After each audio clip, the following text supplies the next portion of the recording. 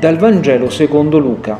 In quel tempo Gesù disse ai suoi discepoli, il figlio dell'uomo deve soffrire molto, essere rifiutato dagli anziani, dai capi dei sacerdoti e dagli scribi, venire ucciso e risorgere il terzo giorno.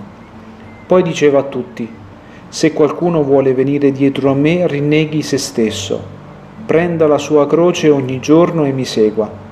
Chi vuole salvare la propria vita la perderà ma chi perderà la propria vita per causa mia la salverà. Infatti, quale vantaggio ha un uomo che guadagna il mondo intero ma perde o rovina se stesso? Parola del Signore. Il figlio dell'uomo deve soffrire molto. Questa frase presa alla lettera descrive la condizione che caratterizza ogni uomo. Infatti, potrebbe essere tradotta come l'essere umano è destinato a soffrire molto. In questo passaggio infatti Gesù fa proprio l'esperienza di ogni uomo che anela da un senso a quanto sperimenta nella propria umanità, anche semplicemente partendo dalla irrealizzabilità dei legittimi desideri ed aspirazioni che vanno poi a scontrarsi con un destino avverso, che li infrange o semplicemente li minaccia. Questa situazione è quella descritta da questa frase.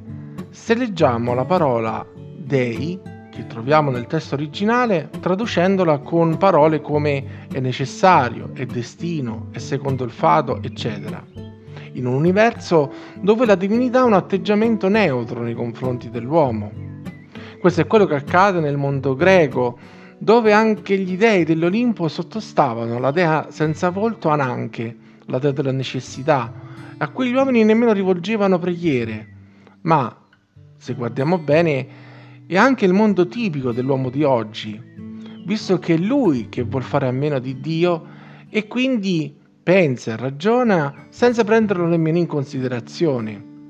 E questa volta è l'uomo ad avere un atteggiamento neutro nei confronti di Dio. Ma quello della Bibbia è un universo in cui la divinità è un Dio provvidente cioè che ha cura di tutte le sue creature e in particolare dell'uomo.